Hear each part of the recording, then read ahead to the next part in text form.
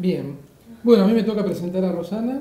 Recién estábamos haciendo memoria, porque creo que nos, vimos por primera vez en un congreso en Colombia, en Bogotá, en el año 2006. Eh, y después nos hemos ido cruzando en eventos de aquí para allá, nos hemos leído, nos seguimos en redes sociales, nos pasamos artículos, eh, likes y cosas por el estilo, que se suelen hacer hoy en día. Yo nunca había indagado, nunca había cotilleado digamos, la biografía de Rosana, eh, y me fui a la Wikipedia, obviamente. De ahí saqué esto, es una nube, saqué las preposiciones, los artículos, obviamente, me quedé con algunos conceptos. Eh, digo, bueno, digo, ¿cómo- ¿cómo hace uno para presentar a una persona o para conocer a una persona? O uno va y hurga en la biblioteca que es de esta persona y no se hace una idea, o que ha publicado, vamos a hablar de eso, o uno va a la Wikipedia y hace algo así, a ver qué, qué- cuáles son las palabras clave, ¿no? las keywords de, esta, de la persona en particular. ¿no? Rosana Reguillos, investigadora en ciencias sociales, activista mexicana, dice la Wikipedia, doctora en ciencias sociales, ella está por la Universidad de Guadalajara y está en eh, ITESO, em, em, que es una, otra universidad que está en Guadalajara, en México, en el Centro de Investigación y Estudios Superiores en Antropología Social. Había un dato que yo no sabía, la madre es mexicana, chapaneca, o sea, de Chiapas. Es correcto. Y el padre, un español combatiente por el bando republicano en la Guerra Civil Española. Y este dato me quedó dando vuelta, ¿no? Porque si uno repasa la, no solo las cosas que ya ha investigado, publicado, sino dónde ha estado y los lugares que ha estado, como que siempre está donde hay lío, ¿no? Diría Rajoy, ¿no? Eh, donde, donde hacen cosas, ¿no? Diría Rajoy siempre. Eh, yo me recuerdo que ella estaba en una estadía de investigación en, en Manhattan cuando fue Occupy Wall Street, o sea que estaba en el lugar justo y en el- en el momento y el lugar justo, ¿no? Obviamente México siempre es el lugar justo porque pasan muchas cosas eh, y ella estaba muy involucrada con eh, eventos de la historia muy reciente y que están todavía abiertos de la historia contemporánea mexicana y, y no es casual que esté en Cataluña ahora, ¿no? O sea que digamos que tiene esta capacidad de, no sé si los libros trae ella o ella va donde hay lío, pero bueno, eso ya nos irá explicando cómo es la, la relación, ¿no? Bien, sus grandes temas, y acá aparecen estos conceptos de investigación, pero no solo investigación, porque ella, como dice acá, es activista, ¿no? Una persona muy involucrada, más allá de- del trabajo quirúrgico, aséptico que a veces hacemos los investigadores, temas de cultura urbana. Eh, acá pensé que era un error, que yo a veces me pasa cuando escribo, dice miedos sociales. ¿no? Siempre hablamos de los medios, pero basta hacer un pequeño enroque y sale la palabra miedo, ¿no? Y acá dice miedos sociales, cultura juveniles, violencia. Em, Rosana ha trabajado, investigado y publicado, por ejemplo, con Néstor García Canclini, eh, ha publicado un libro muy interesante y conoce muy bien y ha colaborado con Jesús Martín Barbero, eh, el famoso libro Los mapas nocturnos que a todos nos sirvió para orientarnos en, en la obra de, de Jesús Martín Barbero, que ahora se cumplen 30 30 años años. de la publicación de, de los medios de las mediaciones y se cumplen 25 de Culturas Híbridas de, de García Canclini, que es del 92. O sea que son quizás las dos grandes figuras de la comunicología y ciencias sociales más vinculadas a la comunicación latinoamericana los últimos 30 años han sido interlocutores muy cercanos de Rosana. Y no casualidad, ambos son exiliados. Es, es Ahí yo no sé si después hay lugar para hacer una charla psicoanalítica de cuestiones familiares, padre exiliado, investigadores exiliados. Calclini era argentino, se fue en el 75-76 cuando llegó la dictadura argentina. Y Valverde es un histórico, eh, él es de Asturias, ¿no? Y bueno, toda su carrera, su vida vivió prácticamente fuera de España, se doctoró en Bélgica, después bueno, vivió mucho tiempo en Colombia, después se tuvo que exiliar de Colombia un tiempito para ir a México y después volvió a Colombia, ¿no? Eh, Rosana como profesora ha desempeñado también actividades en universidades como la Autónoma de Barcelona, la Javeriana en Bogotá, em, eh, ha sido catedrática de UNESCO. Fui marcando cositas acá, ¿no? Y esta- este eje, ¿no? De, de integrar el trabajo de investigación con su activismo social, es una característica. Barbero siempre dice, en la, en la facultad, en la universidad hay mucha sociología, pero no entra la sociedad, ¿no? Y, y a veces, a veces, acá pasa también hoy en este periodo, ¿no? Como que ahí la sociedad pasan cosas, ¿no? Y que la, la universidad filtra mucho, como que, y esto se ha visto en un cartel de estos días, como que eh, entra poco de la sociedad dentro de la universidad. ¿no? Salen los estudiantes, hacen cosas, pero a veces lo que está pasando afuera a veces no termina de entrar, ¿no? Hay un concepto que ella trabajó que es el de narcomáquina, que no sé, no creo que vayas a hablar de ese tema, pero está, está en negrita en la Wikipedia y yo lo marqué acá con mi evidenciador. Yo hace cosa de 3, 4 años la entrevisté a ella para mi blog y yo, la primera pregunta era si ella consideraba que México era un estado fallido. era el momento que el concepto de Estado fallido estaba muy en discusión. Y yo pensé, me va a matar por ese concepto, me va a decir que no, que es un concepto de la sociología europea. Y me dijo, sí, efectivamente un Estado fallido. Y así empezó la entrevista, ¿no? Me sorprendió mucho porque yo me esperaba una respuesta negativa y me dijo, no, no, el concepto evidentemente se aplicaba a la realidad mexicana. ¿Es extensible a otras realidades todo Estado fallido?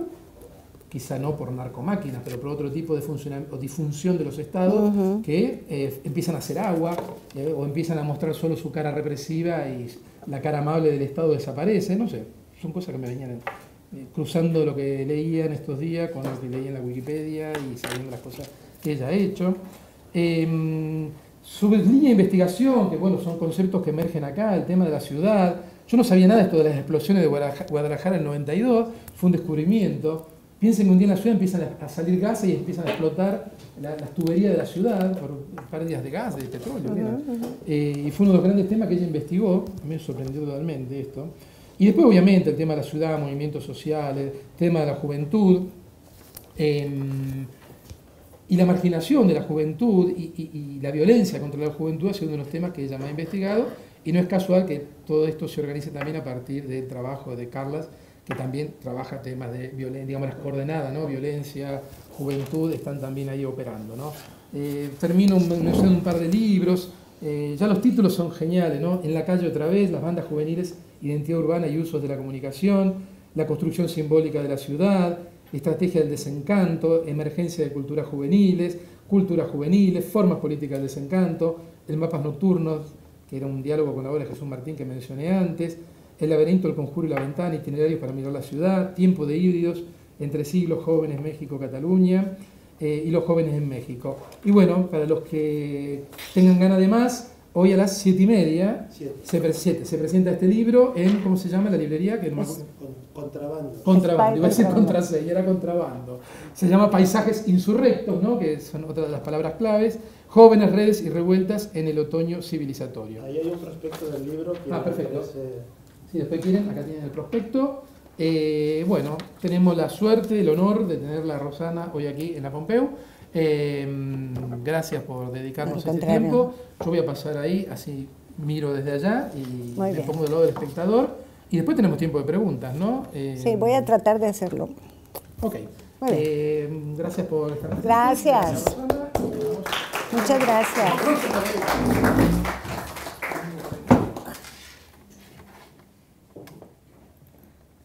Oh.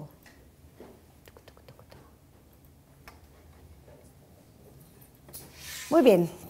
Bueno, pues muy buenas tardes a todas y a todos. Me da muchísimo gusto estar aquí. Yo tampoco acabo de saber si yo voy a donde están los líos o yo llevo los líos conmigo, pero ha sido ya una marca de mi trabajo que me ha tocado estar en acontecimientos de profundo eh, eh, que han marcado ¿no? las transformaciones sociales. Me tocó estar en Occupy Wall Street.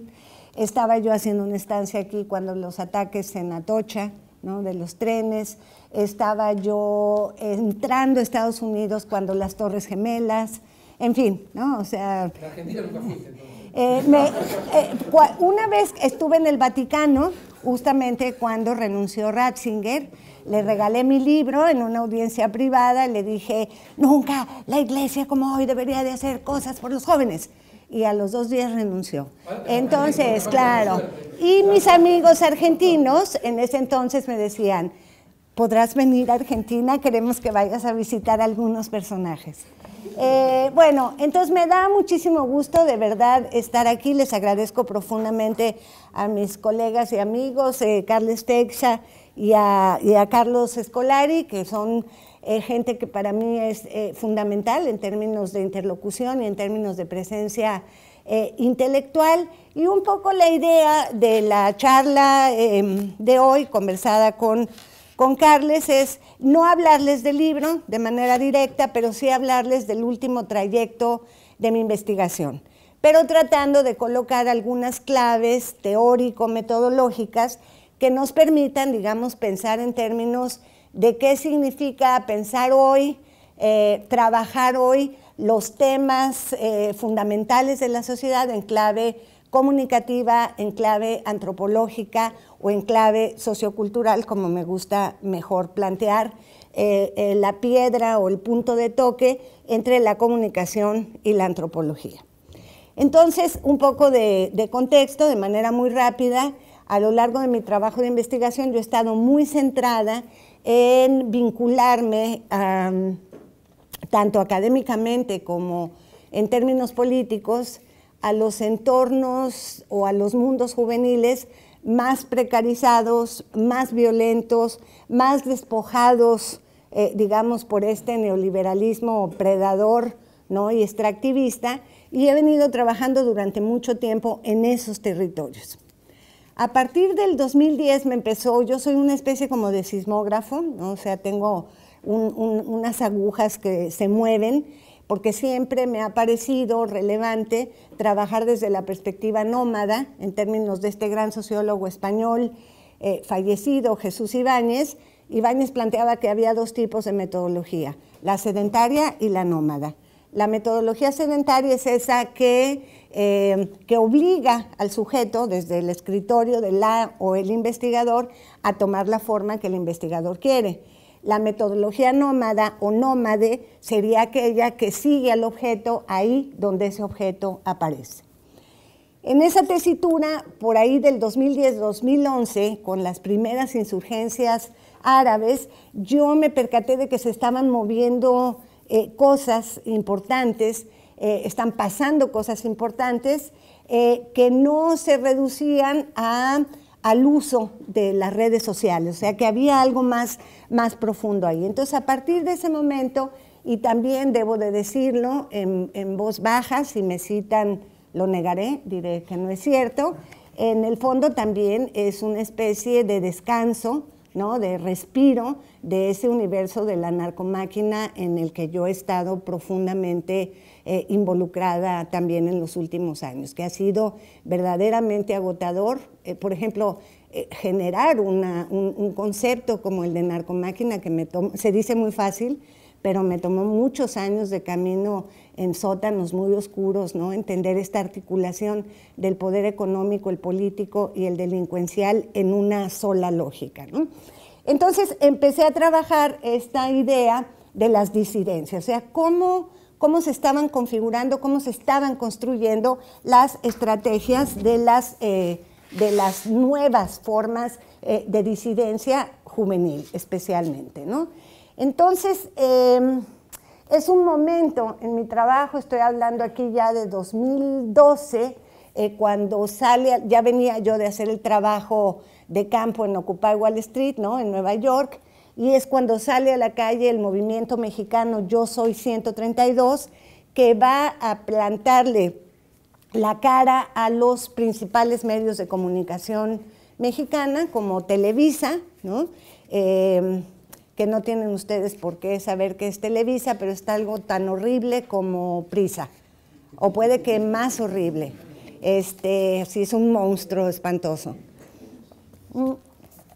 Y entonces ahí yo venía de un, digamos, de una preocupación grande.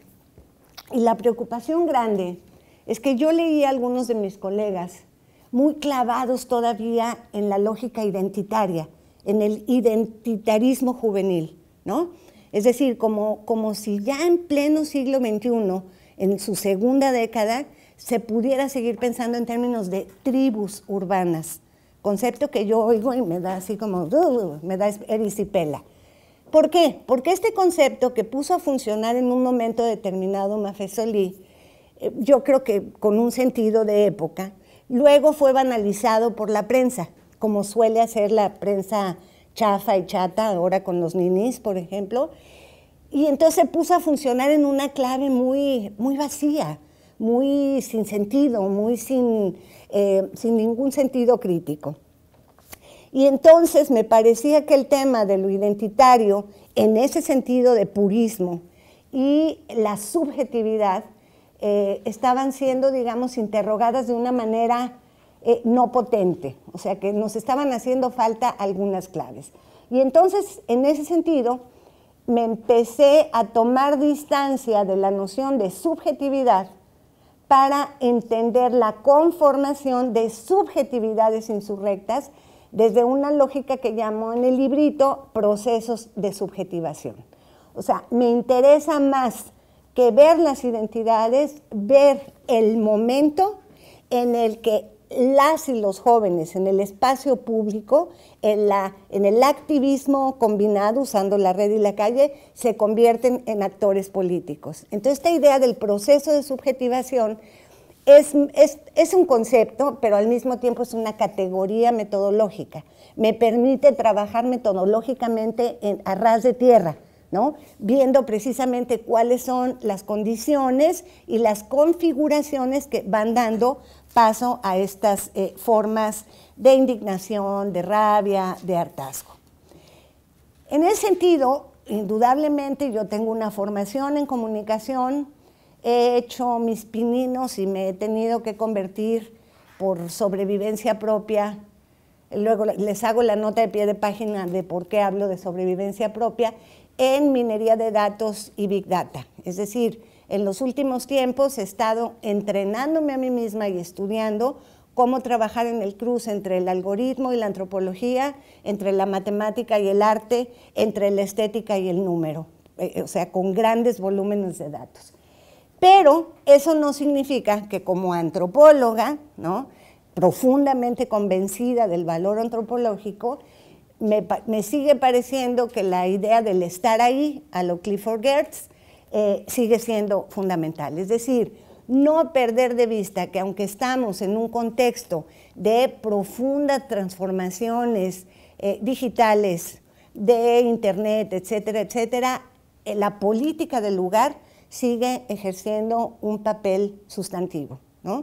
Entonces, mi, mi lema o mi dicho que a mí me gusta trabajar con mis estudiantes es no hay posibilidad de producir un buen acercamiento a la sociedad sin rigor teórico y sin solvencia empírica. ¿sí? Entonces es eficacia empírica, eficacia teórica. Tenemos que ser muy eficaces teóricamente, pero tenemos que ser muy solventes empíricamente. Que nadie les cuente nunca de qué va. O sea, hay que estar ahí para ver la situación. ¿no? Entonces, en esa tesitura logro avanzar y me hago a mí misma tres planteamientos que van a ser eh, fundamentales. ¿Cuál es la relación entre la calle y la, dimensión de la conectividad? ¿sí? La calle indudablemente sigue siendo, repito, un, símbolo, un símbolo, un signo central, ¿no? O sea, es la toma de la Bastilla, pero sin testigos mediáticos y digitales, cualquier toma de la Bastilla está condenada al fracaso. Entonces me pregunto por la relación entre calle y ya no solamente, aquí hay un cambio importante que, desarrollo más en el libro, ya no solamente entre la acción colectiva. Para los que están haciendo trabajos de esta naturaleza, verán que la acción colectiva, digamos, es un, es uno de los conceptos fuertes de la teoría de los movimientos sociales y de los nuevos movimientos sociales. Sin embargo, eh, ya no es suficiente para entender muchas de las transformaciones que estamos viviendo, como lo que hemos visto estos días en las calles eh, de, Cataluña, de Barcelona. La idea de la acción conectiva, que es un concepto que pone a flotar eh, Richard Bennett, haciendo alusión a la idea justamente de, cómo se articula un movimiento a través de múltiples conexiones.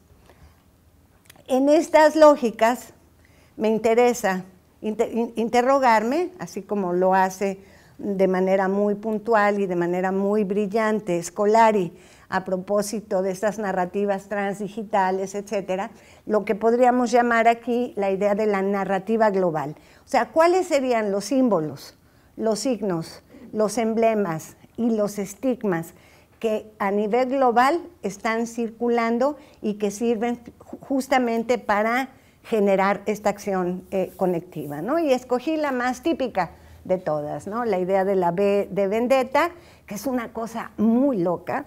o sea, como un héroe del siglo XII logra este, trascender el tiempo y la historia, convertirse en un personaje de una película y de la película pasar a ser, digamos, el rostro de la resistencia más contemporánea. ¿no? Entonces, si ahí no hay este, hibridación, me parece que entonces el concepto ya tendríamos que tirarlo a la basura y pensar en otros términos. ¿no? Entonces, me parece que es muy relevante. Y por el otro lado, y aquí viene quizá uno de los cambios más importantes y más fuertes, tiene que ver con la transformación y el paso de lo que podrían ser las identidades modernas de la protesta a estas identidades post-digitales. Me explico un poco más. Yo sé que la idea es compleja, pero espero poderla despejar. Hasta bien entrado el siglo XX, y casi el siglo XXI me atrevería a decir, hay una, una forma de la protesta y del movimiento eh, que tiende al proceso de identificación con un nosotros único, con un nosotros eh, que se asume eh, en, en, diferenciación con un los otros. Esto no quiere decir que esto haya dejado de suceder, pero lo que quiero decir que en buena parte estas identidades modernas se autoidentifican desde la lógica del colectivo al cual se ascriben. Nosotros los obreros, nosotras las feministas, nosotros los estudiantes, nosotros los campesinos. Y esta forma de identificación lo que genera es justamente la generación de eh, barreras, la generación de fronteras con respecto a las identidades otras. Lo que vamos a ver aparecer a partir del 2011 y de manera acelerada eh, eh, es un quiebre de estas formas de identificación. ¿no? Entonces, una transformación. En el sentido más, eh, eh, quizá el ejemplo más, más, más claro que puedo dar de esto es la expresión somos el 99%. ¿sí? El we are the 99% de, que pone a flotar Occupy Wall Street tiene que ver justamente con una expansión del territorio de la identificación. En el 99% cabe muchísima gente. ¿No? Entonces me parece que esta transformación no es menor, eh, que la resistencia a, dejarse atrapar en una identidad unívoca de las revueltas es cada vez eh, eh, mayor. Por ejemplo, yo veo que en buena medida hay un, si tú hablas con muchas personas ahora en esta ciudad y le dices, bueno, es que tú eres independentista, y quedan atrapados en la, en la respuesta. Sí, pero no, no, pero sí. Y dentro del independentismo habría muchas, como dice ahí, múltiples identidades de esta revuelta. Y creo que esto es un cambio no menor que todavía estamos lejos de calibrar eh, adecuadamente. ¿no? Entonces espero, luego si no se entiende muy bien, podemos eh, avanzar en esto. Creo que es muy interesante en estas lógicas de acción conectiva y en estas lógicas del ensanchamiento del espacio de la protesta, el papel que han jugado, por supuesto, las plataformas, sean corporativas o no, de interconexión. O sea, indudablemente, eh, por ejemplo, Occupy Wall Street, 15M, Pase Libre en Brasil, Gezi Park en Turquía, no podrían sostenerse si no fuera a través de las redes. Quiero decirlo muy claro con Toret, Javier Toret, uno de los intelectuales del 15M, que no es que se trate de la revolución en Facebook, o sea, no hay que confundir, o de la o sea, que yo por poner un Twitter ya estoy haciendo la, la revolución. Lo que quiero decir es que hay un nivel de colaboración entre la calle y la red que es muy importante entender, tanto en sus desafíos metodológicos como en el desafío de pensar.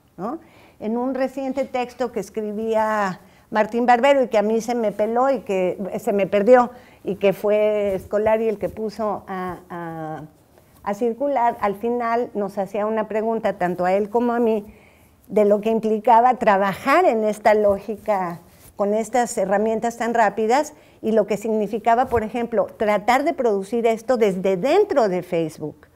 Para mí es, a veces es muy difícil yo soy una profunda facebookera, o sea, soy, me considero una muy buena facebookera, menor tuitera, o sea, aunque, eh, o sea, tiene, tiene más chiste el Twitter que, el, Facebook. Eh, o sea, se juega uno más cosas en Twitter que en Facebook, porque en Facebook puedes controlar.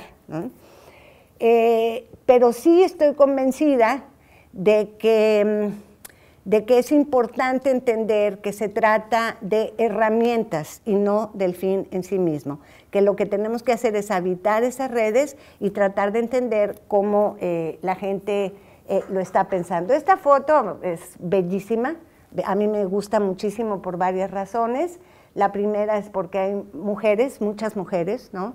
Eh, y hay sobre todo algo que me parece muy importante, que es alegría, ¿no? Que es otro de los deslizamientos importantes con respecto al activismo anterior en mis tiempos, hacer activismo era, era doliente. Uno tenía, para que te creyeran que eres activista, tenías que sufrir y tener cara de, pesadumbre, ¿no? Es que es muy difícil luchar por estas cosas. Y si te dabas el lujo de bailar en la revolución a lo Emma Goldman, eras fuertemente satanizado, ¿no?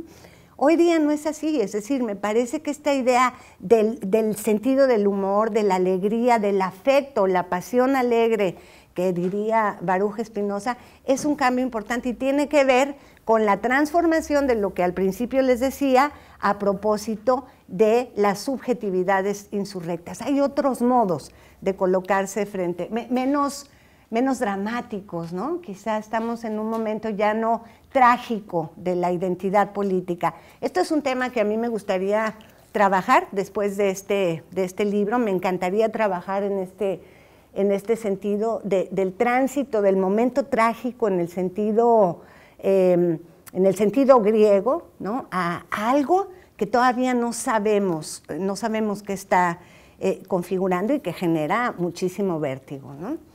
Eh, entonces me parece que en ese sentido hay que no perder de vista los aparatitos que teníamos en la foto anterior, sin perder de vista la calle. La calle es fundamental. En la mañana me entrevistaba una periodista de Cataluña Radio a propósito del libro, pero también a propósito del proceso.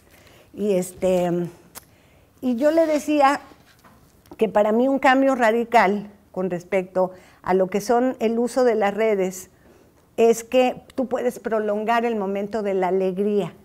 ¿sí? Tú vas a la manifestación, termina la manifestación y te vas a tu casa a subir las fotos a participar con otros. hay un momento en el que se va, se va y se va perpetuando esta situación, que a mí me parece que es muy, muy, muy interesante. ¿no?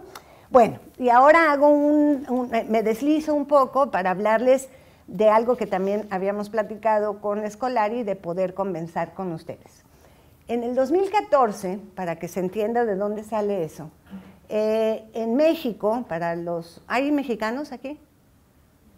Nada más tú. Ah, dos, tres, tres mexicanos. Bueno, eh, en el 2014, en septiembre, en un lugar que se llama Guerrero, en una población que se llama Iguala, en un pueblito que se llama este, Ayotzinapa y en una escuela que se llama Raúl Isidro Burgos, es una escuela rural para maestros rurales indígenas, hubo un ataque mayúsculo por parte de las fuerzas del Estado y del narcotráfico, un ataque conjunto que terminó, para los que no lo sepan, con la desaparición de 43 estudiantes. Desaparición. Imagínense que de pronto este salón queda completamente vacío y nadie sabe dónde estamos. Bueno, 43 estudiantes desaparecidos, 6 muertos durante la noche del ataque de la policía municipal, uno de ellos localizado al día siguiente sin rostro, que fue desollado vivo, Julio César Mondragón. Estas son las cosas que pasan en México. Y digamos, esto levantó una oleada de participación nacional, fue digamos como antes de Ayotzinapa y después de Ayotzinapa. Fue como, no es que no supiéramos de desollados ni de descabezados, no es que no supiéramos que el gobierno está metido hasta las chanclas en los casos de, corrupción, ¿no? Cuando se me salga un mexicanismo inentendible, me avisas. Este, eh, ¿eh? Me traduces con letreritos aquí arriba. Eh, entonces fue terrible y se generó una movilización nacional e internacional muy fuerte. Mi hipótesis, y va mi nombre en prenda y voy por él, o sea, es una hipótesis en la que estoy perfectamente involucrada y convencida, es que todo el activismo que se generó alrededor de Ayotzinapa fue posible porque se activaron todas las células internacionales de Yo Soy 132, del movimiento en red del 2012. O sea, son derivas de los movimientos.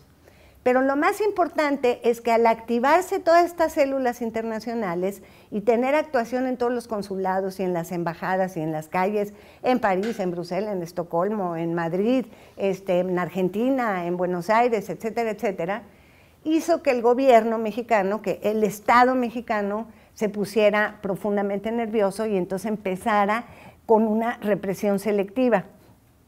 Entre esta represión selectiva, eh, yo tuve una participación muy importante durante Ayotzinapa y empecé a recibir amenazas de muerte que fueron realmente muy angustiosas, feas. Fueron casi cuatro meses, tres meses y medio pasaditos de amenazas cinco, seis, siete veces al día, intentos de hackear mi Facebook, intentos de hackear mi Gmail, me mandaban fotografías de cuerpos quemados diciendo que me iba a pasar lo mismo, eh, me mandaban simpáticos mensajes misóginos de puta, eh, ibas a amanecer llena de sangre, mamacita, o sea, una cosa realmente fue, fue duro, yo lo viví mal, el, el, lunes que se los contaba a los chavos de Tarragona, se me salieron las lágrimas y yo pensé que lo tenía totalmente controlado y no, o sea, cuando hablo de esto sí siento, siento rudo. Entonces, eh, eran amenazas digitales, pero en México que te digan que te van a matar, digamos, no es como para que te lo tomes a la ligera. ¿Qué tenía yo de alternativas? Una, retirarme de Twitter, salirme de todas las redes y decir, sí, yo ya no me voy a meter, pero... Y entonces era dejar ese espacio que había sido tan difícil de conquistar.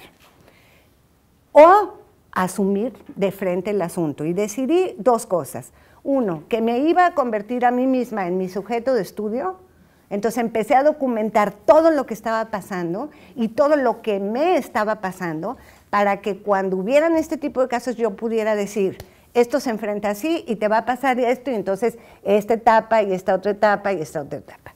Pero lo más importante es que dije, ah, cabrones. Y entonces decidí convertirme en experta en minería de datos y empecé a estudiar lo que es descargar datos de Twitter, analizarlos con distintos algoritmos de Gephi, etcétera, etcétera. Ese es el previo a este grafo que ustedes tienen aquí.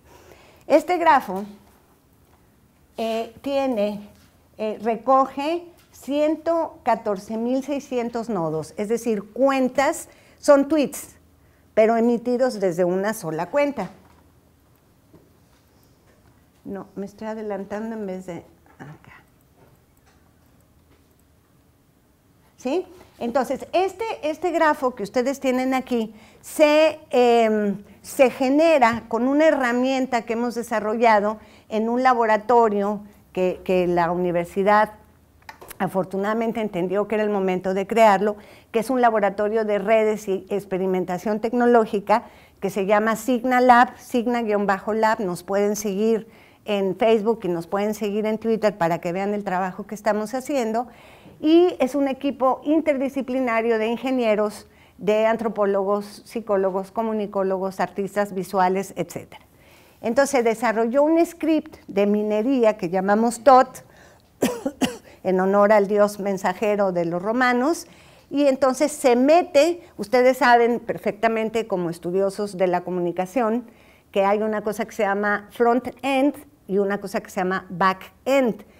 Lo que vemos como usuarios de, redes es el front-end, no sabemos qué hay en, todo ese proceso de back-end. Entonces, el, script trabaja en el back-end de Twitter, en la API de Twitter, y va minando datos, ¿sí? los va descargando poco a poco, hasta juntar, en este caso, este es un grafo de, que recoge 1, 2 y 3 de octubre, o sea, post-represión, eh, y recoge 114 mil tweets. Las aristas, estas de aquí, que serían estas, estas formas, ¿sí? son interacciones, son es una conversación en el Twitter. Es una, esto es una representación, como una especie de infografía, pero a nivel de algoritmo. Entonces, lo que tienen enfrente es un grafo que recoge hashtags. ¿sí? El, el script genera tres tipos de grafos. La relación de hashtag a hashtag, cuáles son los hashtags más utilizados en un tema, la relación de usuarios hashtags, que ahorita vamos a ver un ejemplo, y la relación de usuarios-usuarios. ¿no? Entonces, aquí lo que tenemos es, la, que es bien interesante, ver cómo los tuiteros catalanes trataron de convertir eh, el, Catalonia, utilizando un, término en inglés, o por pretendidamente en inglés, que fue el que mayor alcance tuvo a nivel internacional. Y digamos que este fue más utilizado, catalán referéndum, a nivel interno. ¿no? Tuvo menor presencia el hashtag primero de octubre y estos dos de Rajoy dimisión tuvieron un peso fuerte, pero se mantuvieron en la periferia de la conversación. Lo que es muy interesante en estos picos de aquí chiquitos que no se alcanzan a ver, es que los troles y los bots, que son distintos, eh, han estado muy presentes en las redes durante el conflicto catalán, tratando de acallar cada hashtag que los, digamos, activistas están poniendo eh, a funcionar. ¿no?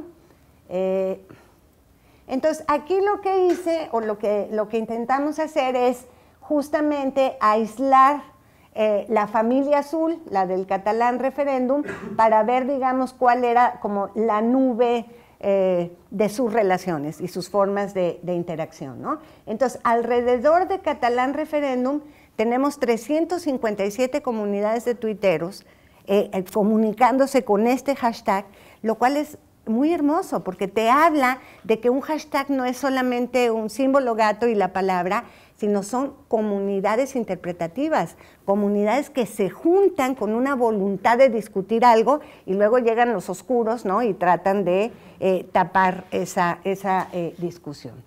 Entonces, en esta tenemos dos eh, dos representaciones gráficas. Esta es la de usuarios, no se alcanza a ver muy bien, no voy a poderla ampliar, pero digamos, aquí se ve algo que va a ser muy relevante en estos días y es la aparición de Juliana Assange. Julian Assange aparece en, el tema de Cataluña para ofrecer protección a muchas de las cuentas que están siendo atacadas. Y sin embargo, eh, desde, desde Estados Unidos, ah, ah, porque para esto podemos geolocalizar los tweets y, tenemos agarrados quienes, o sea, es, es un trabajo bien difícil, pero, pero creo que vale mucho la pena. Ahora hay que tener mucho cuidado de cómo muestras esto, porque puedes caer en lo que nuestro colega en Brasil, Fabio Malini, llama el vigilantismo. ¿no? O sea, que tú colocas esto y tienes una cuenta muy fuerte eh, catalana o gringa y lo estás poniendo en evidencia. ¿no? Entonces hay que o sea, esto, la ética de investigación con esto va, va, está apenas llegando, pero va a ser un tema sumamente eh, complicado. Vuelvo al tema de Juliana Sánchez, digo que se ha convertido en el pretexto perfecto para que en Estados Unidos se descalifique el proceso catalán diciendo que son los bots rusos los que están influyendo en la gente en Cataluña para volverlos independentistas. Y hoy en el país ese es el, esa es la nota de la primera plana. Entonces ahí hay temas sumamente eh, complejos, pero se ve, bueno, por ejemplo aquí, eh, qué, orgánica es la conversación que tiene eh, Julián Assange. Aquí no alcanzo yo a ver, ¿alguien ve ahí está? Por favor que me diga qué es. No, aquí está bien, aquí está bien. El Departamento de Estado. ¿Se fijan qué interesante? O sea, esta cuenta de aquí es la del Departamento de Estado en Estados Unidos, que está tratando, digamos, de menguar la relación o el peso que tiene este, eh, Julian Assange. Aquí habría que hacer, lo que es muy importante, es no perder de vista que este análisis no puede ser exclusivamente a nivel de pones el grafo y ya estás, ¿no? Tiene que tener un trabajo de análisis cualitativo. ¿sí? y reponer contexto. O sea, el trabajo de análisis con Big Data exige un trabajo muy, muy, muy cualitativo para que pueda eh, tener sentido. Y también quería mostrarles cómo hoy tenemos otras posibilidades analíticas y otras metodologías y otras plataformas. Esto después de que se produjo la declaración de independencia sin salir al balcón, como dice un colega antropólogo mío, lo que hicimos fue recoger a través de una herramienta que se llama TrendsMap, eh, que es corporativa también, que es cara, pero, pero es útil, los mapas de calor. Estos mapas de calor se vinculan, digamos, al análisis de sentimientos, ¿no? de dónde se está discutiendo con mayor intensidad un tema. Entonces, es indudable que el mayor calor ¿no? está puesto en España, del lado de Cataluña, pero vean, por ejemplo, cómo en México también hay una efervescencia clave el día 27 vinculando, vinculado al hashtag Independencia eh, Cataluña. ¿no? Entonces, ¿cómo pensar en estos términos? ¿A qué nos obliga? ¿Cuáles son los desafíos que como investigadoras e investigadores de la comunicación nos plantean, que nos permite ver? Y al mismo tiempo, ¿cómo no irnos en el romanticismo o en el, digamos, en la ilusión de que la herramienta resuelve lo que el pensamiento que piensa no puede resolver, ¿sí? O sea, un poco en ese sentido. Y luego, esto es lo que más me emociona a mí de los últimos juguetitos que tenemos, es hacer el análisis de un volumen importante de datos, aquí estamos hablando, me parece que de 300 mil tweets, eh, aquí no tuve tiempo porque ya me venía en el avión, pero lo que pueden ver, luego les voy a enseñar un ejemplo de algo de esto terminado, pero pueden ver cuáles son en esta columna las palabras más utilizadas en torno al hashtag República. Entonces tienen Rajoy, República, España, Declaración, Puigdemont, Cataluña, tiene política. Es un poco como tu nube de palabras, este, Carlos. Y del otro lado, esto es bellísimo, el emoji como un lenguaje que, que produce cosas. O sea, el emoji no, no como un pinche monito ahí, perdón, o sea, como un monito ahí aislado, sino como algo que está significando en términos de análisis de sentimientos cosas importantes. Entonces tienen la, la alegría como primer emoji, ¿no?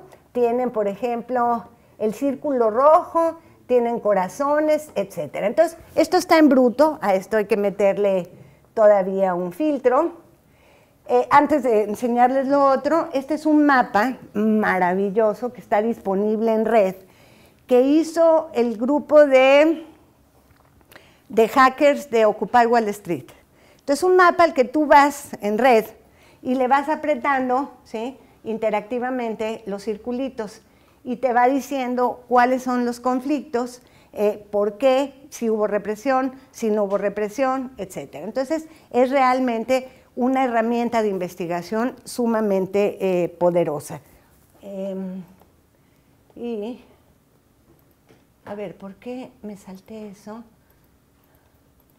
Me voy a saltar esto porque quiero llegar. ¿Cómo? Ay, Rosana. Pero si yo les quería enseñar. Voy, voy a a escaparme de aquí tantito, si me tienen un segundo de paciencia, porque esto es absolutamente importante. Mm. ¿Cómo se me fue?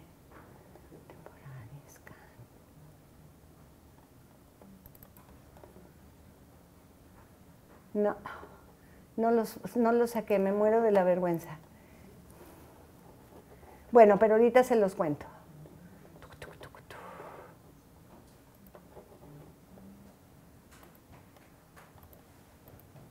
Ok, entonces, eh, lo que les quería enseñar y que según yo estaba ahí, era esto, pero terminado, lo que les acabo de mostrar, con respecto al terremoto en México del 19 de septiembre pasado, que si vieron en las noticias fue terrorífico, ¿no? o sea, tuvo efectos eh, sumamente importantes. Entonces lo que hicimos fue el análisis de los emojis dos días después del terremoto.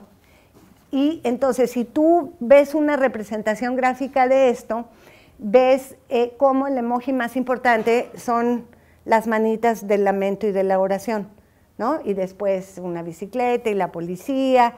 O sea, lamento mucho que se me haya, no sé por qué, según yo había revisado, pero bueno. Luego se los mando a Carles o a, Carlos para que lo, lo puedan ver, porque realmente es muy poderoso verlos juntos. A los tres días del terremoto surge un grupo colectivo de jóvenes que venían de las derivas del 132 y lo que hacen es generar un grupo eh, de, calle redes que se llama Verificado 19S. Y Verificado 19S era nada más publicar en Twitter y en Facebook información verificada y llevar y traer información de las necesidades. A los tres días, esta gente de verificado ese le había cambiado el rostro a la narrativa del, terremoto. Entonces, de las manitas pasamos al martillo y al desarmador.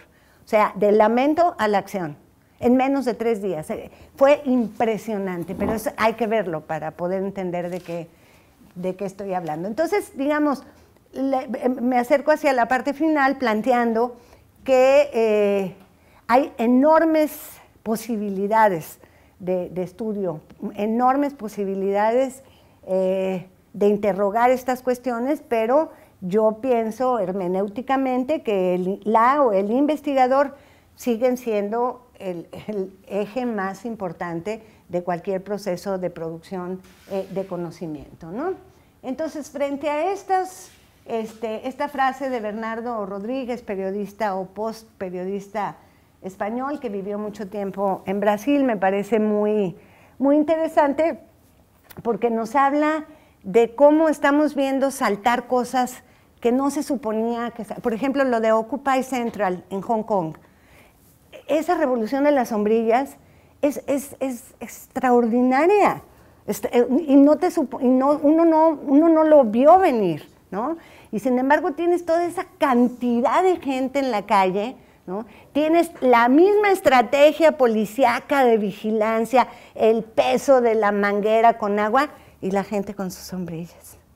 Pues una belleza. Y es una belleza también que, sean justamente los estudiantes los que salgan a decirle al sistema electoral así no es la cosa. Entonces ha sido muy fuerte. Yo creo que de, las, de la creatividad de los, todos los movimientos aportan una nueva herramienta. Occupy Hong Kong, o Occupy Central, produjo cosas extraordinarias, como la evasión de la vigilancia policíaca utilizando herramientas en las que no se necesitaba Internet. O la más maravillosa de todas, que fue que uno podía, desde la sala de tu casa, mandarles mensajes y decirles, no se rindan compañeros, estamos con ustedes, y se pasaba en una pantalla gigante en tiempo real. Eso es una creatividad tecnológica que pone en otra tesitura la protesta. ¿no? Eso deberían hacer acá, inventarse una pantallota para que lleguen eh, las, eh, las, eh, los mensajes. Una pregunta que me parece que debemos plantearnos es si estamos con estas cuestiones frente a la emergencia de un nuevo sujeto político, y no en el sentido de incorrección de género de sujeto o sujeta, sino en sentido histórico. ¿Podemos realmente hablar de, un nuevo sujeto político o es un error o es un aumento de la lente eh, que, no, que no funciona? Y creo que eh, que, son también preguntas que me persiguen en estos días en que estoy acá, es cuál es la estrategia, hacerse con el poder para estos movimientos, sea gobernar o no gobernar. ¿no? Yo me detengo siempre un paso atrás de esto porque me da mucho vértigo pensar que la alternativa sea ir a, elecciones. No, y no estoy hablando de Cataluña necesariamente, ¿no?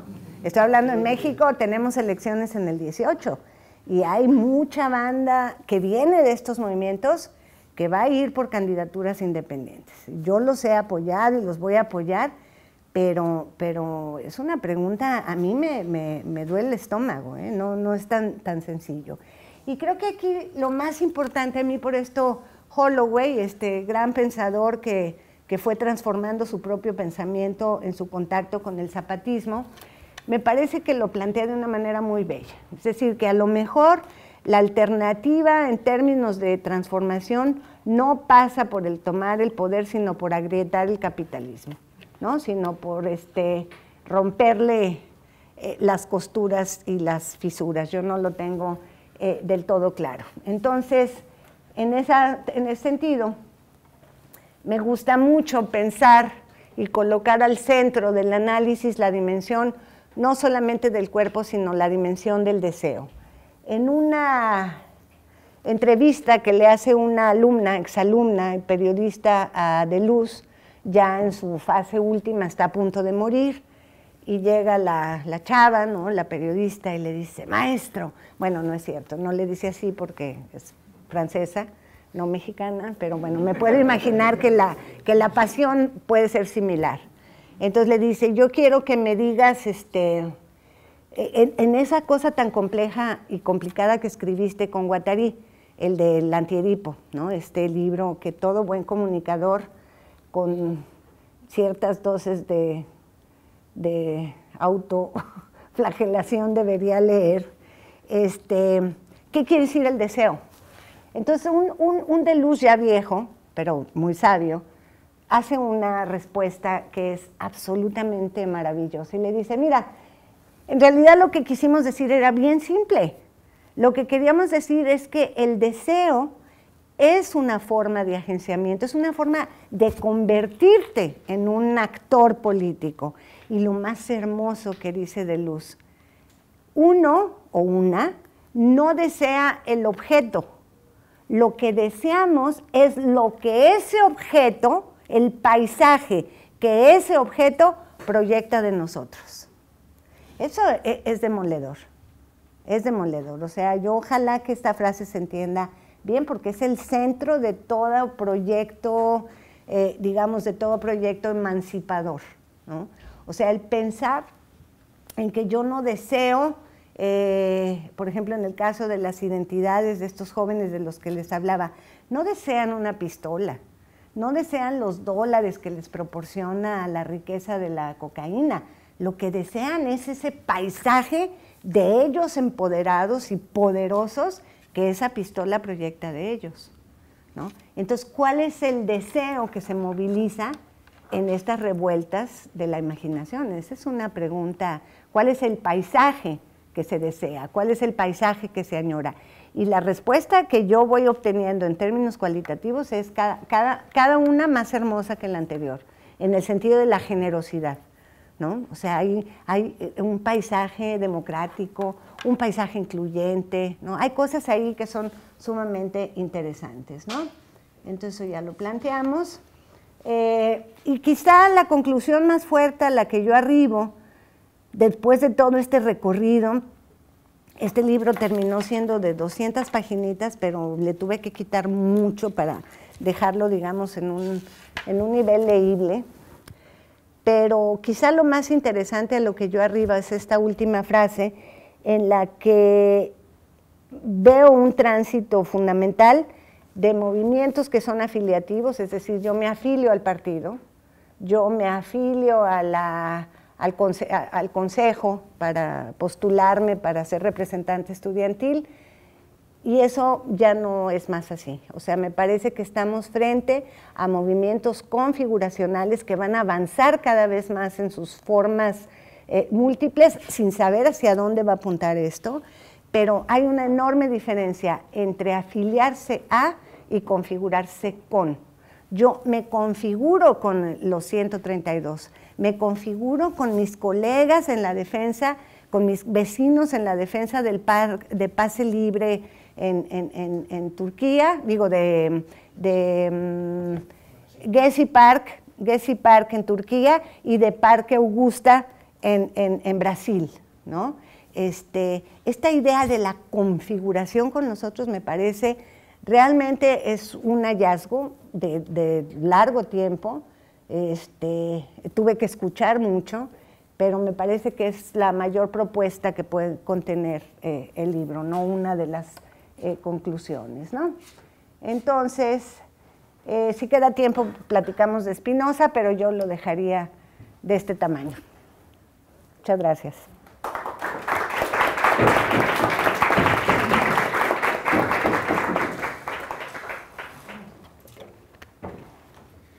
Bien, ¿tenemos cuánto tiempo para preguntas?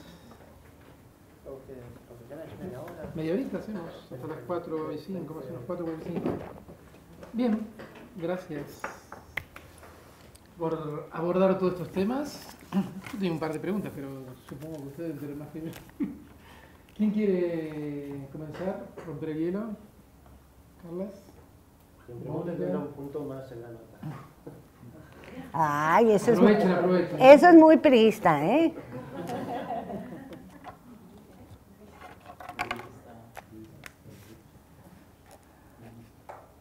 Del PRI, del PRI. ¿Los mexicanos quieren decir algo? Sí, bueno, yo aprovecho. ¿Eres mexicana? No, pero. Pero como si lo fuera. No, bueno, sobre esto último, mejor está fuera de contexto ¿eh? la pregunta, pero hablar de afiliación ¿no? versus eh, Configuración. me parece interesante, pero a la vez me parece un poco opuesto con lo que comentabas, que aquí también ha pasado en España con el 15M, Ujú. de, de terminar al final mm, como eh, institucionalizándose, ¿no? O sea, aquí Podemos, ahí eh, no es un partido, pero, pero sí que son personas concretas que se, que se presentan y que entonces no es una afiliación, pero sí que es un voto, ¿no? O sea, piden el voto al final. Entonces, me, me parece muy interesante respecto al movimiento en sí, pero luego esa evolución, una vez el movimiento parece que se diluye. Claro. eh, esta reconversión en, en, vale, eh, ha En habido- instituciones. Ha habido una protesta y ahora qué hacemos? ¿Cómo, cómo es que me sale atacar las instituciones, pero no es la palabra atacar, ¿no? Pero cómo, cómo quebramos las instituciones o y Claro. al final acabamos institucionalizando y optando por, lo, Claro, por la claro. afiliación, ¿no? Claro. Sí, a ver, me, me parece muy bien que lo coloques. Yo sacaría la idea de lo afiliativo y lo configuracional de esta preocupación tuya. Creo que esta, esta diferenciación que intento plantear eh, se refiere justamente al movimiento. En el texto, y cada vez que hablo de estas cuestiones, lo que planteo es que todas estas eh, derivas, todos estos movimientos, eh, han llegado a un punto muy complejo de plantearte qué sigue. ¿no?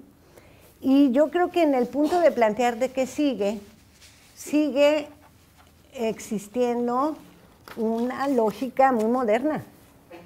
Moderna en el sentido de la modernidad, de que por fuera de la institución no hay salvación. Eh, los mexicanos que están aquí no me dejarán mentir, pero hay un candidato eterno que se llama López Obrador. ¿no? Él dice que representa a la izquierda, pero es una izquierda pues muy retrógrada, muy, eh, digamos, poco, poco amable con las causas eh, del siglo XXI, como eh, el matrimonio igualitario, ¿no? lo LGTB, etcétera, etcétera. Pero tuvo una época de mucha lucidez ¿no? y de mucho impacto social este, este hombre. Y se le ocurrió decir al diablo con las instituciones, en una frase que le pregunta a un periodista, y él dice, al diablo con las instituciones. Todavía no se repone, y de eso hace 12 años. Fue una frase que caló tan profundo en el imaginario que a mí me lleva a pensar justamente en esto, que no podemos pensar al margen de eso porque desde, desde ahí estamos pensando. ¿no? Es decir, nos genera una profunda angustia la falta de forma. No tenemos formas. Y estos movimientos en el fondo son muy eh, aformales, ¿no? ¿Verdad? Serían muy sin forma, son muy... Informales o, rompe forma. Sí, porque no son informales, no, serían, pero no, pero no, porque no, no, no, es, es, es una expresión difícil. Transforma. Sí, o sea, no son estables, ¿no? Eh, a lo mejor es- son muy inestables, pero no en el sentido peyorativo, no, sino en el sentido gaseoso. Pero no me gustan estas ideas, estas metáforas a lo Bauman, ¿no? a la diarrea, etcétera. Este, Entonces, esto no es nuevo, mi querida amiga, para nada es nuevo. En el 90 y largos, no me acuerdo, yo tuve trabajo de campo muy fuerte en Colombia, muy fuerte, en Medellín. Y yo iba muchas veces, ¿no? Eh, eh, cuando el tiempo fuerte de la violencia. Y fue un momento en que la banda, la gente, los activistas, se plantearon la toma de poder. Es el momento en el que Sergio Fajardo, Alonso Salazar, que es un gran, un gran que fue un gran estudioso, su libro No nacimos para semillas es un, es un, libro seminal para entender la aparición de los jóvenes eh, en, la sociedad, ¿no? Y yo estoy ahí cuando ellos se plantean, eh, vamos por el poder, ¿no? Luego fundaron el Polo Democrático, Sergio Fajardo ha sido uno de los mejores gobernadores que ha tenido Antioquia, Alonso fue alcalde, pero pero la angustia es mucha porque, porque estás aceptando, aquí ya no estoy hablando como investigadora, ¿eh? este, es importante porque no estoy diciendo una neta, estoy diciendo una opinión. A mí me parece que, que lo duro de esto es asumir, entrar a jugar con las reglas del juego que el sistema te pone. Y yo no estoy tan segura de que esa sea la alternativa. Yo soy más rupturista. Yo digo, e, el sistema no sirve. O sea, ¡pum! ¡pum! Pero yo, esa soy yo. Y yo sé que hay mucha gente que le da, le da mucho nervio, ¿no? Pero tienes razón, y yo en el libro lo digo, yo me detengo un paso antes de todos los movimientos municipalistas. Voy a decir una cosa en voz baja, si me citan lo voy a negar. Eh, yo no sé si me detengo en esa fase previa por flojera, porque a mí no me gusta estudiar lo institucional, o por cobarde, porque no me atrevo a decirles, oigan, pues no que íbamos para acá, ¿qué onda? ¿No? Este, entonces es un, es un temazo, ¿eh? es un temazo de, que nos va a ocupar los próximos años. Todo esto que dice no tiene nada que ver con la realidad en España y Cataluña, evidentemente. Pero no, vemos que son preguntas, procesos que, eh, y tensiones que se, han dado en otras realidades y que bueno, todas estas cosas que estás diciendo tienen, son claves de lectura de lo que está pasando en Cataluña y también lo que está pasando eh, con lo que pasó con el movimiento 15M en España. ¿no? Claro. ¿Alguna otra pregunta, comentario? Quería preguntar sobre el concepto de narrativa global. Digamos, identidades tan eh, extensas, digamos, no hay, riesgo de que se disuelvan los sujetos colectivos, digamos, no hay ahí como una tensión, una paradoja. Claro, buenísima pregunta, que también apareció en Tarragona, qué, qué interesante. Eso es bien lindo porque significa que sí hay una inteligencia de enjambre, ¿no? Que nos preocupan las mismas cosas. A ver, yo también haría una distinción. Eh, una es, digamos, el registro de lo que hay y la otra sería, digamos, como la, pregunta-respuesta política. En el registro de lo que ¿qué tenemos. Indudablemente tenemos la aparición de múltiples formas de narrativas globales que, que, pasan normalmente por la imagen y que pasan por la identificación de referentes populares a la manera gringa, la cultura pop a la manera gringa. ¿no? Entonces tú tienes como Guerra de Tronos se ha convertido en un referente político para el meme, ¿no? En el, en el, en el libro, yo no sé si acá, acá, acá, esto es bellísimo. Ah, no. ¡Ahí estaba! ¡Ah, qué tonta! Ahí estaba. Bueno, ahorita vuelvo a esto. Eh, lo, que te quería mostrar es, en, esta idea de la narrativa global, eh, en, en, Turquía, cuando la fase dura eh, de Gezi Park, ¿no? este, la defensa de un parque, que, fue, fue incluso más fuerte que lo de Tahrir, ¿eh? que la primavera, o sea, sacó a más gente a la calle. Eh, el momento de la represión, la noche de la represión, Erdogan manda tanques a reprimir a gente, a vecinos que están defendiendo un pinche parque, un parque. Olvídenme francés. Y entonces, en todas las televisiones, en CNN, están pasando la, la golpiza porque es desproporcionada, es un uno ¿no? O sea, le están tundiendo a la gente, pero con todo lo que tienen. Y en la televisión turca, en CNN, están pasando un documental de pingüinitos. Entonces, el pingüino se convierte, lo politizan y lo convierten en un referente de la protesta y ponen un pingüino con gases lacrimógenos y le dicen a Erdogan, Erdogan, Tayyip, winter is coming. Y este, este meme se convierte en algo absolutamente poderoso y circula entre todo esto. Si tú vas a a México, vas a encontrar referencias a Guerra de Tronos en otro circuito y vas a Argentina y los vas a encontrar con Santiago Maldonado.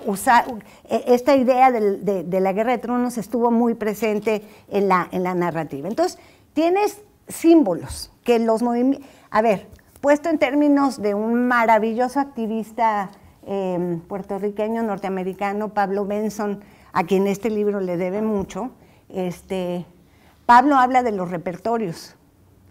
Entonces, a nivel de una narrativa global tienes repertorios que podemos entender entre todos. A lo mejor, si yo no te cuento la anécdota del pingüino, probablemente no la entenderías, pero sí entenderías Winter is Coming. Pero, rap, o sea, ¡pum!, la referencia es obligada. Tienes la máscara de B de Vendetta. Tienes este, el, el modo de producir memes, ¿no? Que incluso hasta aplicaciones, ya no se necesita ser diseñador, ¿no? Puedes, puedes bajar la aplicación para hacer los memes. Pero otra cosa muy distinta es a lo que tú estás planteando con respecto a la fragmentación.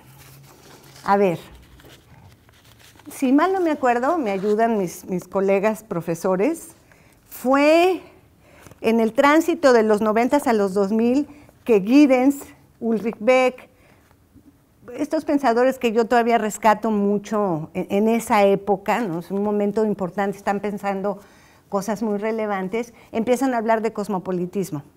Es, más o menos esa época. Me puedo equivocar por un par de años, pero es una época en la que, en la que el manifiesto político intelectual europeo está puesto sobre la idea de un cosmopolitismo político, bueno, valga la redundancia, e de articulación de las diferencias en el impulso de una cultura global.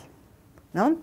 Eh, pero luego vienen, eh, digamos, las evidencias del quiebre de esa cosa tan fea que llamamos Unión Europea. Bueno, que yo llamo fea, no sé si otros la llaman fea. ¿no? Y entonces ahí se ve el fracaso de esa de esa aspiración cosmopolita. Entonces, ¿qué tienes ahora? ¿Qué es lo que nos articula? Lo que a lo mejor de manera poco, poco optimista yo llamaría narrativas de sustitución, que son contra las que hay que combatir, que son eh, los derechos humanos, eh, la democracia, em, la equidad de género, eh, no porque, o sea, no porque estos sean elementos que por sí no importen, sino porque parecería que por sí mismas estas narrativas son capaces de articular un movimiento social a nivel global. Y eso me parece muy, muy peligroso porque semióticamente sabemos y política y sociológicamente que yo puedo decir derechos humanos y tener un alcance y una significación distinta en Namibia que en Tamaulipas, donde a la gente la, mata el narco por expresarse en el radio, o en Barcelona, ¿no?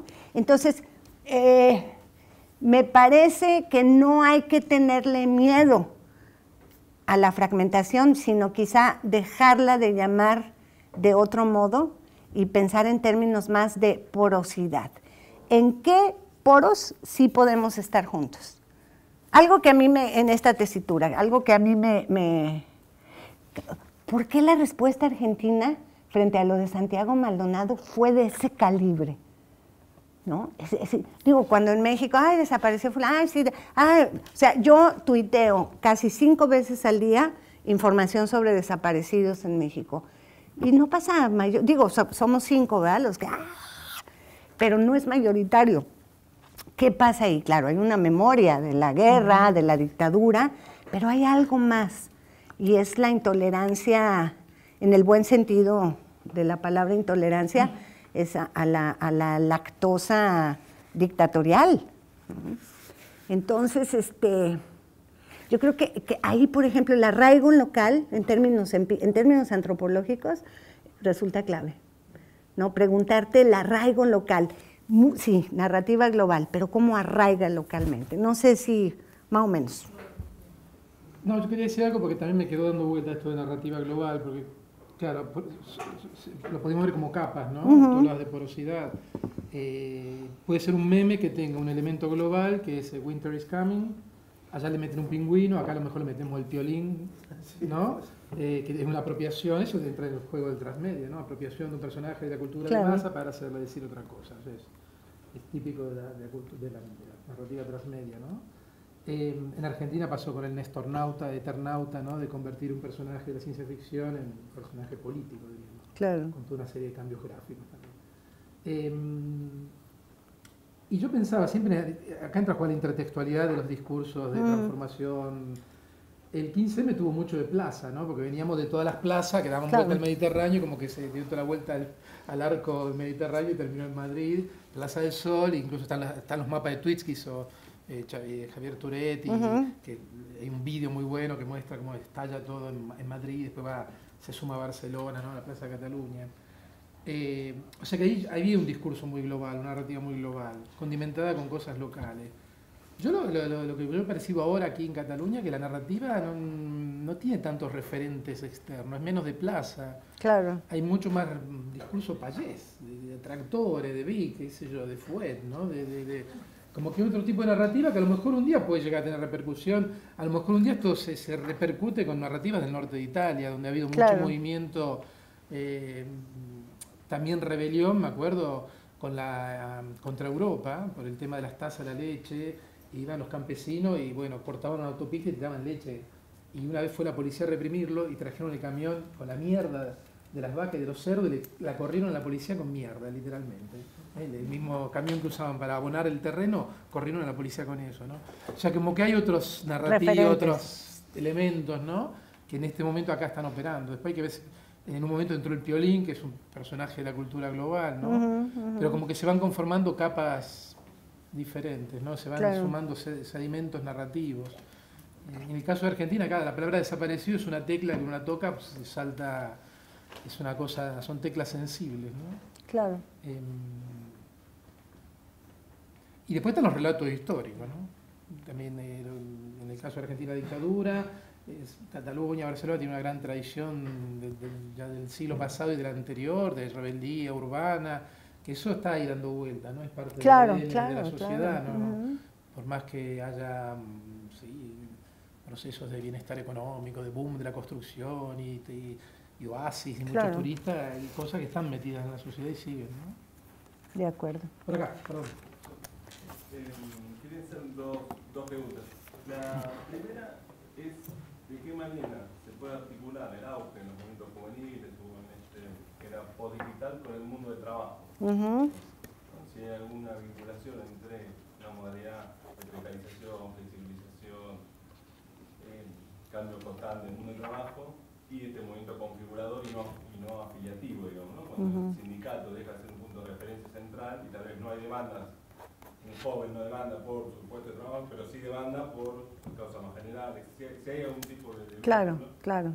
Y la segunda es, si no se observa en estos movimientos juveniles urbanos, un auge o, cierto peso, ¿no?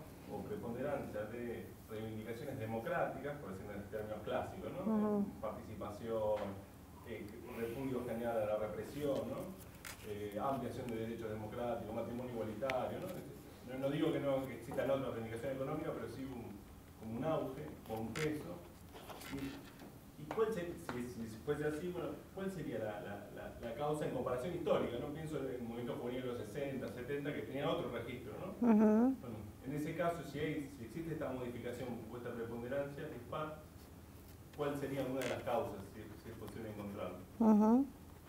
Sí, este, a ver, con respecto a lo primero, indudablemente el mundo del trabajo es el primer mundo, ¿no? universo, que queda tocado por la crisis eh, neoliberal. Entonces tienes el trabajo y la escuela como los circuitos que, eh, digamos, que ven que se ven más afectados por toda esta lógica avara, ¿no? concentradora, extractivista, etcétera, y que va a tener un peso sustantivo y fundamental sobre las y los jóvenes. ¿no? Eh, los datos ahí están, no, no, no, se pueden obviar, tienes los datos de la OIT, donde el sector más castigado por la, por la flexibilización laboral, por la pérdida de empleos, por la dificultad de acceso a la educación, son los jóvenes. ¿no? Eh, y simultáneamente hay un discurso ¿no? que crece a la par que se va precarizando este mundo, un discurso que eleva al joven a la categoría de emprendedor y de héroe de su propia biografía. Y este es un cambio no menor, es, realmente de las cosas que a mí me, me indignan más, ¿no? porque tienes la colaboración en esto de la propia UNESCO. ¿no? Entonces el joven es elevado a rango de, de entrepreneur, ¿no? es elevado al rango de, del emprendedor de su propia vida, pero al mismo tiempo de culpable de su propia vida. ¿no? Entonces, por ejemplo, yo tengo muchas entrevistas de esta etapa de quiebre, eh, de jóvenes, por ejemplo, que en el norte de México, en la frontera, me, decían, ¿no? Em, empleados de la maquila en condiciones terroríficas, y me decían, no, es que eh, a mí me corren de la maquila porque estoy gordito y soy moreno, ¿no? Eh, asumiendo la culpa personal de un problema estructural. Y esto me parece que, que, arranca en los años 2000, pero que en este momento es verdaderamente patético. ¿Qué efecto tiene esto en, los universos juveniles?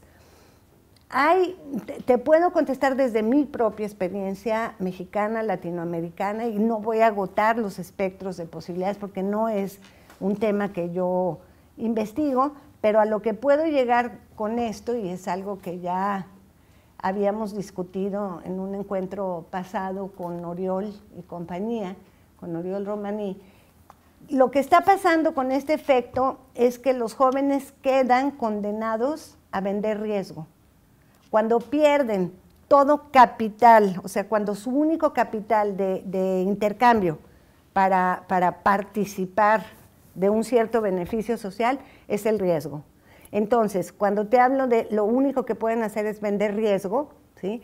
es lo único que pueden hacer es aceptar los empleos más precarios, los más peligrosos, ¿no? Los triple D que dice la sociología eh, gringa, ¿no? Los eh, triple D jobs, ¿no? Dirty, demeaning y dangerous, ¿no? Sucia, peligrosa y denigrante.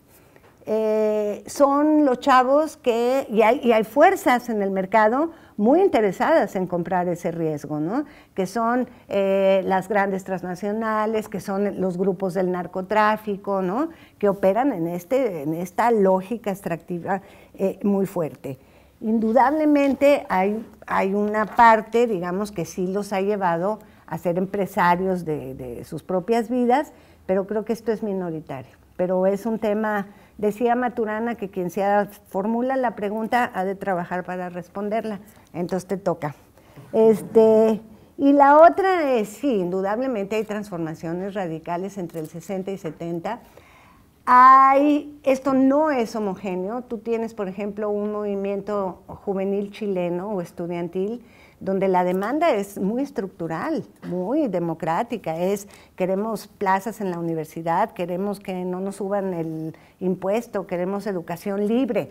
O sea, al mismo tiempo que tienes estas expresiones, tienes eh, la gente que está refundando la polis en, ocupaciones diversas, ¿no? Entonces, lo importante es esto, ¿no? Tener el, rango amplio de mirada, pero el arraigo empírico, ¿no? el ir a ver ahí cómo se van configurando cosas. Lo que te puedo decir es que sí hay un cambio documentable y es el tránsito de la demanda al mensaje.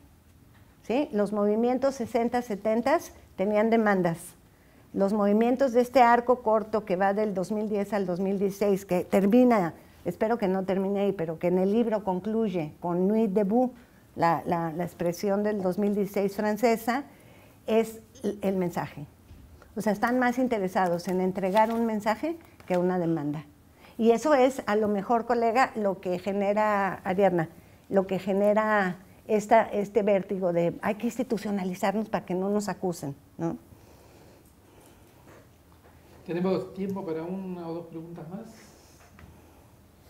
Aprovechen. Yo, a ver, A ver, compatriota. sí. Eh, hace poco estuvo Carmen Aristegui Ajá. y le preguntaba yo que yo percibía una apatía por la sociedad en México. Sí, mucha actividad a nivel redes sociales o manifestaciones, pero al final no se logra un cambio, ¿no? Eh. Está el tema de Ayotzinapa y, y muchos más. Y ella me decía, claro, tenemos, o sea, históricamente tendríamos que tener a México en un puño para ya hacer un cambio. Pues yo te preguntaría como socióloga, eh, si crees que existe una cierta apatía, hablando también de que hay una memoria histórica, ¿no? De la dictadura en Argentina, lo que sea, y, y si en México es que no, no existe esa, esa memoria o, o qué sucede. Mira, yo creo que el tema es más complicado que eso. Eh, uno de los grandes logros del PRI, ¿no? el Partido Revolucionario Institucional, para los que no sepan, en su mismo nombre lleva su presentación, Partido Revolucionario Institucional, que goza de cabal salud, lamentablemente, el partido más corrupto, autoritario, hijo de la chingada que puede existir en el mundo. Si me citan, lo negaré. A ver, ¿qué- ¿cuál es el triunfo del PRI? El PRI construyó la nación, nos guste o no. O sea, ellos inventaron el Estado-Nación mexicano como lo conoces tú, ¿no? Y como lo conozco yo. ¿Cuál fue su mayor éxito? Además de generar este imaginario nacional, que fue lo que no pudo hacer el Estado español, sino porque no consulta, hubieran consultado al PRI mexicano y otro gallo les cantara. Este, ¿Cuál fue su mayor triunfo? Desmantelar las instituciones intermedias. Mientras que en Argentina esto no se logró, el desmantelamiento de las estructuras intermedias, en México no hay estructuras intermediarias. Está el Estado y el ciudadano. Y en el medio, el PRI. Entonces, cuando tú tienes esto, por mucha efervescencia social que hay aquí, eh, por eso también muchos movimientos están interesados en tomar el poder. Pero yo creo que es un error, porque lo que tenemos que hacer es reconstituir este, este tejido social que está aquí, que está vacío. No hay sociedad civil en el, en el sentido más político de la expresión, ¿no? Hay grupos, hay colectivos, hay gente haciendo cosas maravillosas, hay gente con mucha memoria, etcétera. Y sí cambian las cosas, ¿no? O sea, yo creo que solamente esa articulación y esa generosidad te explicas que la gente en Reynosa, por ejemplo en Tamaulipas, pueda levantarse cada mañana y decir, vale la pena vivir y salir a la calle, ¿no? Cuando es gente que ha visto minada su vida cotidiana porque les avientan cabezas en la calle, etcétera, etcétera, ¿no? Entonces yo digo, eh, eh, no hay suficiente posibilidad de, atajar esto porque no tenemos institución, articulaciones intermedias, no hay mediación. Entonces, eso es lo- sobre lo que hay que intervenir. Y eso es algo para lo que la Universidad Mexicana ha sido bien chata, ¿no? Porque lo que la Universidad Mexicana hace es formar líderes para acá y no formar líderes o no formar cuadros en, en esta dimensión. ¿no? Entonces tú tienes muchos cuadros acá, pero, pero ¿cómo se suben? Es como la, la- la cosa esta del Castel, Castel Whatever, ¿cómo se llama? Las Torres Humanas, esa. Entonces tú tienes, para llegar ahí necesitas una torre, eso es lo que no tenemos. Y eso es histórico, ¿no? Y es hegemónico. Pero no guarde pesimismo. Ahí vamos, ahí vamos. ¿Una más? Una vagada más. Una vegada más. Una vez más, ¿no? Una muy cortita, en realidad es muy larguita. Ah. Eh, La metodología nómada, ¿cómo la aplicaste en, este, en esta investigación? Eh, sí, bueno, se concreta en múltiples niveles. Antes de eso, miren qué bonito, ¿ya vieron? A- Tomasena, ¿a poco no te emocionas con esto? Fíjense, nada más, la, esto fueron los tres primeros días del sismo y aparecen estos mocosos, ¿no? Que no tienen ninguno mayor de 24, 25 años y vean la transformación. El peso del emoji está dado por la frecuencia con la que es mencionado en Twitter, ¿no? Entonces, a mí este, este trabajo me emociona profundamente. A ver, la metodología nómada es estar ahí, seguir al sujeto, utilizar diferentes herramientas como la entrevista en profundidad, eh, como la observación participante o la participación, como decíamos, distanciada o la participación observada y la militancia incluso en ciertos momentos, y eh, dejar que sea el objeto el que te interpele. Es decir, dejar que sea la, la propia situación la que engendre el método que necesitas. ¿no? Por ejemplo, cuando mis alumnos me dicen, es que quiero usar entrevista, digo, pues es que yo no sé si lo que tienes que hacer es esa entrevista, porque no has entrado en terreno. Entonces, a lo mejor es una situación en la que la entrevista sería un error porque al sujeto no le gusta hablar, y entonces lo que tienes que hacer es sentarte a escuchar a la banda, ¿no? Etcétera. Entonces yo creo que lo, lo, nómada estriba no en, el, no en la técnica, sino en la capacidad de moverte, en la capacidad de moverse de la investigadora en este caso por distintos escenarios, capas y formas de aproximación. Pues es, un problema a la hora de pedir dinero en proyectos competitivos, porque te piden que uno explicite. En Europa, en Europa. En Europa. ah, bueno, también en México, eh, claro. ¿Qué metodología va a utilizar? Claro, si uno dice, voy a ser nómade. Bueno, claro. Sé que sí. Pero bueno, ya buscaremos la forma de, formalizar la, la, nómade, ¿no? O, explicar lo que tú has dicho, ¿no? Diferentes técnicas y bueno, se irán utilizando en función de, de lo que uno vaya encontrando en el terreno. Bien, si no hay más preguntas, damos por terminada el evento. Muchas gracias. Eh, gracias Rosana por la presentación. Gracias. gracias. Un aplauso.